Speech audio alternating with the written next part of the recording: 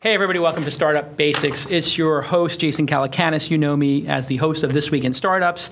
And you know, one of the things that we like to do on this program is try to help startups. Like, it's kind of the whole mission of the Launch Festival and This Week in Startups. And I get asked the same questions over and over again. So I actually had lunch with my good friend here, Todd Carpenter from Wilson Sonsini, WSGR.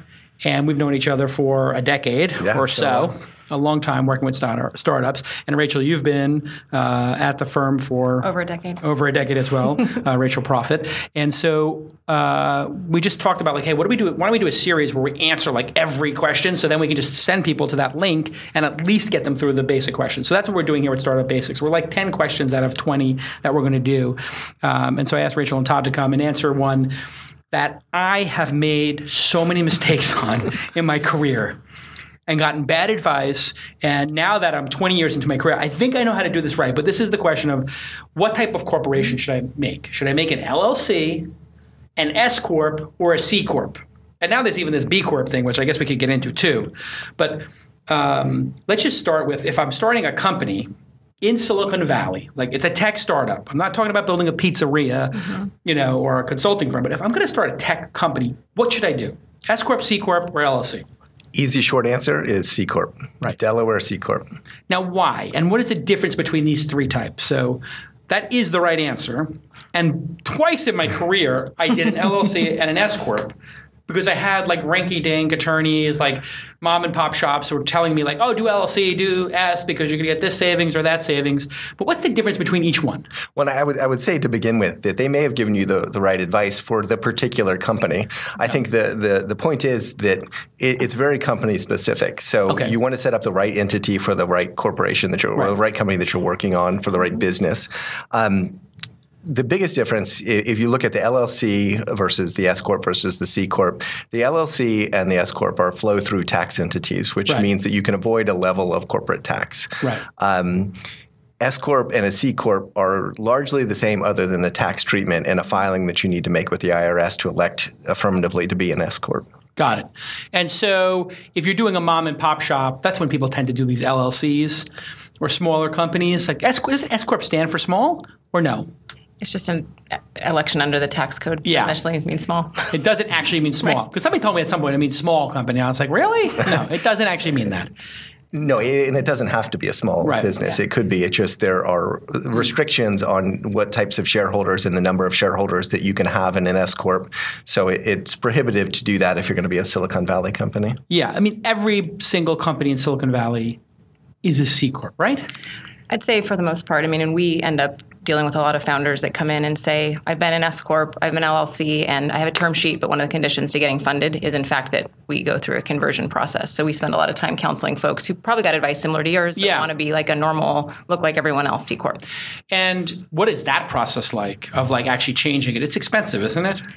Can be we were chatting about this today because we're going through a couple of these with some clients right now i mean they can be cost prohibitively expensive sometimes Wow. particularly if you're just running in a seed financing sort of circumstance right, Right. you want to raise 50000 100000 bucks like you probably don't want to spend an exorbitant amount of money converting Yeah. um, the sooner you do it in your corporate life cycle the easier right there's less contracts to think about less tax consequences to evaluate maybe need less of your accountant's time to figure it out um, they're not impossible but they can be complicated and expensive Now, when you want to shut one of these companies down, mm-hmm. what about that process? Because that's something I've had happen as an angel investor, um, where I was an angel investor in an LLC or in an S corp or even a C corp, and then nobody shuts it down, and I'm getting notices, or somebody says they did shut it down, and I'm getting notices.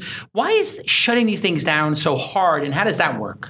Well, it's largely hard because there, if you do it properly, there's a lot of statutory procedure that you have to go through to get it done, uh, and it's largely designed to protect the people, the creditors of the company, and the the jurisdictions in which the companies do business or are, are formed, because there are franchise taxes owed. Mm. So you need to jump through all those hoops of making sure you've paid all your taxes, that you've paid all your creditors, and so there is a this whole process that you have to go through. That's not super challenging. It's just a lot of hoops to jump through. So oftentimes, because there's the the shield of liability, when these companies are early stage, you'll see entrepreneurs that basically just turn the lights off and walk out. Uh, the problem with that is, for years and years to follow, you're going to get these notices from the state, and yeah. uh, if you're the only credible guy that's left standing, uh, it may well come to your address, and that's really frustrating for folks. Yeah, that has been frustrating for me. like literally, I had some things where we sold companies to AOL or whatever. I'm still getting these things, and I'm like, can we just shut this down? And then I wind up having to pay a small fee, but whatever, mm-hmm. to finally shut them down, just to stop getting uh, the mail. Let's talk about the B Corp because I invested in one. HandUp um, is a great uh, company that we invested in that is helping homeless people by building profiles of them on the web where they can uh, basically communicate and what they need in their life, whether mm-hmm. it's dentures or a place to live, and then get donators and serial donators who give a little bit each month. It's really working wonderfully. But it's a B corporation. Mm-hmm. And this, to me, as an investor, I had a really hard time trying to even figure out what this mm-hmm. is because I'm investing, but it's not a nonprofit. So they make a profit, but there's a benefit. So what is this?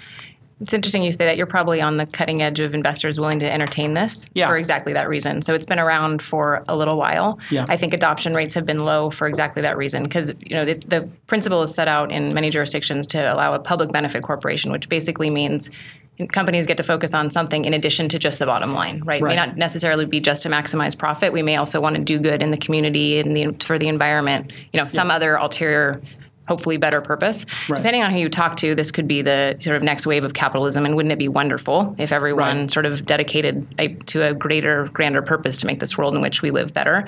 Um, but I think there's been a little bit of question mark in investors' minds, particularly VCs, because it kind of blurs the question mark: of what's my fiduciary duty, and how am I going to relate to this company, and how do I think about this? Yeah. Um, but I, I, think again, true to yourself, you're sort of a trendsetter in the fact that you've already invested in one. Yeah. They're not very popular yet. They're not popular, um, but I have to say, amongst Generation Y and mm-hmm. young people, they don't want to go to work just for the bottom line. It's That's not very true. motivating for them. It's very true. And so the way I got myself through it was like, if young people are going to go to work to create something amazing, and this makes them want to come to work more or be more entrepreneurial because they feel like their company is aligned with a goal. And in HandUp's case, it's getting people out of poverty and getting people out of homelessness and sustainably getting them out of there. Mm-hmm. Then I guess, you know, I have to try at least. So I've done one. Um, but what do, what do you think of this, Todd? Are you, you know, seeing I, it now, or just I, discussions about I, it? I get the question every once in a while, and yeah. I think that it's a really great idea. I when I think about it, I, feel like it's very similar to some of the new um, securities that we're seeing in the market. So whether it's the Y Combinator Safe or the convertible security, yeah. these things are really good ideas, and I think they've got uh, a, a, a, important role to play in the ecosystem. Um, but if you're a first-time entrepreneur trying to get a company funded you just don't want to have to spend the cycles trying to explain either a new security or a new type of entity to the investor. Like your, your core focus really should be on your business and getting funding and then getting back to you know, nose down and focused on building your business. So I, I think that's the challenge is that it's not that there's anything inherently wrong with these things. Mm. Um, it's just another hoop to jump through and a difficulty with investors. As you said, you had to get over it yourself, and yeah, and, you're a pretty liberal guy. So I think going to someone on Sand Hill and and trying to explain that, and then have them turn around and explain it to their partnership, it's not going to happen. You just don't want that additional question. Yeah. You know, in five or ten years, maybe it'll be uh, the standard, the norm, and and you know there are these great benefits to it, and I think we all agree that it would be something. It'd be great for capitalism and for uh, society, uh, but I think we've got a little bit to go before they're mainstream. And I think the good news is, is you don't have to start there. You can convert in. So if you Later. happen to get exactly, yeah. so if you happen to get a lot of credibility and the and the business is going great, and you want to give your employees an extra incentive and get your VC board on board with it, yeah. you can always convert later. But there's really nothing. I, I couldn't find, at least in my research, that there was anything clear about like what that mission statement means. It's just that there is a mission, and Absolutely. that mission can change. Mm-hmm. So uh, my question was like, well, what's the difference if we did a C corp and just said this is our mission, and a B corp, and this is our mission? What's the difference? I think it's creating an actual um, sort of public statement that we're going to be accountable, right? Ah. Because depending on the jurisdiction you're in, and I believe California is one of these, that if you elect to be a public benefit corporation, Mm-hmm. you have to, I think it's every other year, report to your constituencies how are you doing against your mission that Mm. Got you've it. publicly declared. Versus, I'm a C corp, you can make a statement and you may never talk about it again, and you have no obligation to do so. Got it. Got it. So that's very interesting. And you know what's interesting is um, the point you bring up, Todd, of gosh, you don't really want to complicate things mm-hmm. when you're dealing with people who are very busy, i.e., venture capitalists, mm-hmm. and who, let's face it, like they don't. They have a system for doing something and they have signaling. So when I did Weblogs Inc., which was the second company I ever did, I had an LLC because I was advised, you know, by like a single practitioner to do this. And I had Yossi Vardi, one of the most famous investors in the world from Israel. And he's like, Jason, or rather, Jason, I can't do this LLC, and I have the taxes in the United States, and I can't do this. And so I had to like not have Yossi as an mm-hmm. investor. I lost Yossi as an investor, which was great for Mark Cuban, who said, I'll take Yossi's piece. and Mark Cuban took it all, which was brilliant, and got a 15x return in one year, which is why, hey, me and Mark get along now, great. right.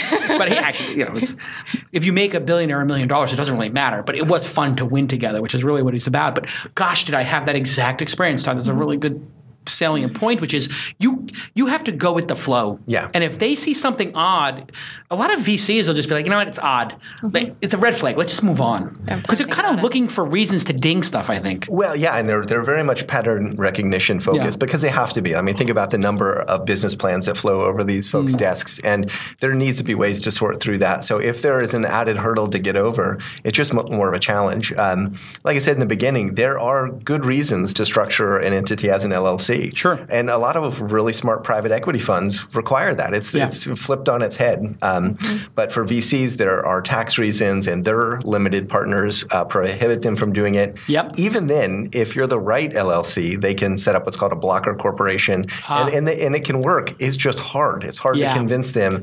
And given the number of startups you're competing with for capital these days, um, I just don't see a good reason to limit your your options and make it harder for yourself. Yeah, I 100% agree. It matches my ex- my painful experience. Now, what about when do you form the corporation? Because mm-hmm. I can tell you, you know, through the hackathons, and we have mm-hmm. these companies that magically start at the hackathons, a number of which I, I send to uh, Wilson Sonsini, and you take very good care of. Thank you. Um, We appreciate it. well, you know, it's a, it's actually really nice because I get to send them to like the best firm, and they're like two, you know, two people who made something a week, and I'm like, by the way, here's like the best firm that's, you know, not cheap, and like they're going to be the best, and you guys actually take very good care of them because you have the tiny office here now, like in Soma, you have like a small office where you do, yeah. specialize in sort of doing it, which is kind of like a really smart move on your part. But when do you incorporate? Because now I've we've had this situation. I should say us because we dealt with this. Four people in a hackathon. Mm-hmm. Two people don't want to continue. Two people do want to make it into a company. They built something. There's some intellectual property that gets built over 48 hours. Mm-hmm. And then do you incorporate before the hackathon, after the hackathon, a month later? How, when should you decide to actually s- incorporate? We were just chatting about this over lunch, and I think you're going to get various schools of thought. But I think Yeah. you highlighted all the points, right? When there's probably more than one of you, you need to mm-hmm. figure out who owns what and how that ownership is going to work over time. When there's something created, right? When you've got IP to protect, it's best that that's in the company, right? For the very reason you cited. If it's not in the company and people want to part ways, you're going to have a mm-hmm. battle to resolve of Yeah. where does the where does the IP go? And let's remind ourselves the reason we're talking about entity structure to begin with is also from a liability perspective, right? Ah. And the moment you start to put yourself in a situation where you could incur liability, i.e., you're going to sign a contract with someone, you're going to agree to pay someone, you're going to you know sign a lease. Put a product in the world. Exactly, right? You want to you want some sort of shield between the rest of the world and yourself personally. Okay, so those are your triggers: intellectual property, more than one person working on it, and the possibility of personally being liable for the fact that you Yeah. put, you know, whatever a, a ride-sharing company Exactly. out there where somebody gets, you know, killed in an accident, God forbid, or gets Mm-hmm. hit by a ride-sharing car. You, you don't want to have that personal liability. Absolutely. Anything else? on Yeah, well, I tell a lot of folks that um, it's when you feel like you have something important enough to protect. And I, I say, reflect on what you're doing. And if you're making a decision to use your resources, whether it's your time or your capital, um, so if you're quitting your job, you feel pretty strongly about this company. Yeah, there's a pretty good so indicator. You should probably protect it, and you should Yeah. make sure that the IP is assigned to a corporation and that you've got a liability shield. Yeah. If you're willing to pay several thousand dollars to incorporate, then that's the right time to do it. Um, Yeah. If it's just a weekend hobby with you and a couple of buddies, and you're hacking on things and trying to brainstorm, uh, that's probably too early. You can save the money, um, but once you really start building a product Yeah. and, and feel strongly, and you're committing some resources to it, it's not that expensive and it's protective of everyone. So I think the earlier the better. Yeah. And nowadays there's a lot of uh, tools out there to get you. You know, we do fixed fee formation packages. You've Yeah. got Clerky. Uh, That used to be so not- expensive. Like just thinking 10, 20 years ago, Absolutely. like just the idea of going to a big firm and doing it, but it's gotten so much easier, Absolutely. you know, and simpler Mm-hmm. um, to just do that. Well, and then going back again about entity structures in which you would choose, we can do a a Delaware C corp in an afternoon, and it's very Yeah. cost effective. An LLC is a contract based agree- uh, situation, so every one of the LLC agreements is uniquely crafted for that entity. Yeah. Yes, you can pull something off the shelf, but it probably won't work perfectly. So Right. um, it's much more expensive to set up as an LLC. So if you want to do it quickly, cheaply, uh, again, another reason to, to choose the C corp. All right, listen, Rachel Proffitt, Todd Carpenter, Wilson Sonsini, you know the firm, WSGR. Um, thanks so much for just giving great, honest, simple advice. And listen, I've made this mistake. Don't be an idiot. Do it right. and I, what I always tell people, if it's worth doing, it's worth doing right. Absolutely. That's the advice I give you. If you're, if it's worth doing, like you're saying, Todd, like if you're hitting your job, so if it's worth doing, do it right, be buttoned up, and uh, yeah, don't don't cause problems for yourself in the future. All right, we'll see you next time on Startup Basics. Thanks.